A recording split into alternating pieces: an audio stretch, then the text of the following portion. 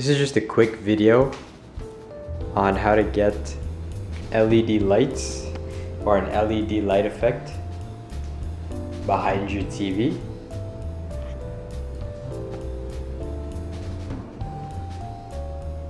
Here's a quick example of what it looks like. As you can see, I've got the colors to flow into one, one another.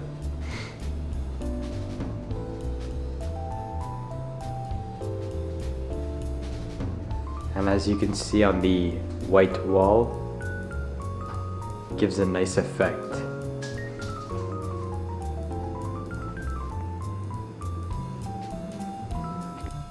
So behind the TV, this is what it looks like.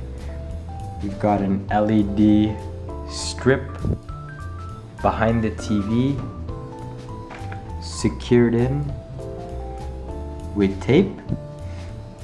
So as you can see, spots like right here are just secured in with tape. And it runs all the way around the TV as well as in the middle. And as you can see from the front,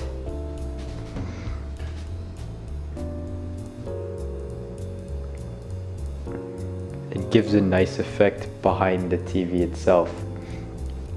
The LED colors are programmed with this remote so I can go ahead and choose whatever color I wanted it to be as well as have them flash, strobe or fade and I'll get a quick shot of these LEDs running at nighttime so you guys can see what it looks like.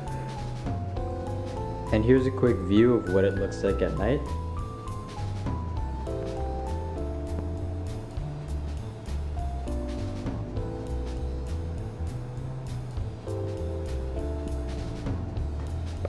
And in the dark, this is what it looks like.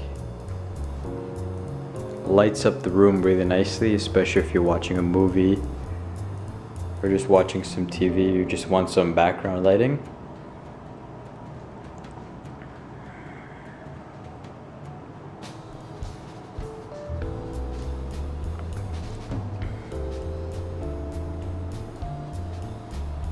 And that's pretty much it. It's a nice little do-it-yourself project that really just changes the atmosphere of the entire room. Thanks for watching.